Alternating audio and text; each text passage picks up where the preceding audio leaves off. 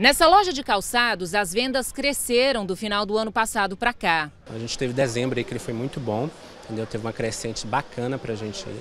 E é, o Dia das Mães foi muito bacana também, a gente teve uma boa procura. Os incentivos para vender mais são para os vendedores e para os clientes. A comissão já é algo que ajuda muito o colaborador a correr atrás das metas. A gente tem alguns planos de incentivo internos também, que ajuda muito. Só para você ter uma ideia, a gente tem até uma, uma, uma, promoção hoje interna que faz sorteio até de motos. E tem facilidade para o cliente também. O crediário hoje ele é muito facilitado, a gente tem um dos crediários mais fáceis hoje no nosso segmento.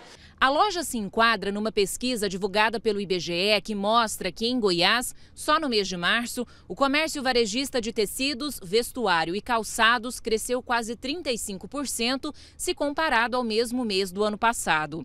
Essa atividade representa quase 20% do total de empregos do estado. Esse crescimento de mais de 30% dessa atividade aqui no estado de Goiás acabou contribuindo para que nós tivéssemos um resultado positivo na comparação com o mês no mesmo mês do ano anterior, ao passo que o Brasil teve um resultado negativo significativo. Né? Outras atividades que também tiveram crescimento em março desse ano aqui no estado foram de artigos de uso pessoal e doméstico, artigos farmacêuticos, médicos, ortopédicos, de perfumaria e cosméticos.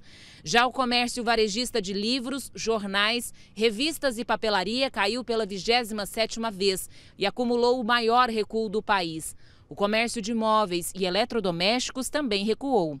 Em seguida, vieram os equipamentos e materiais para escritório, informática e comunicação. E, por último, hipermercados, supermercados, produtos alimentícios, bebidas e fumo. Nós esperamos que, que esse seja um indicativo de um ano melhor para o comércio varejista do estado de Goiás, né?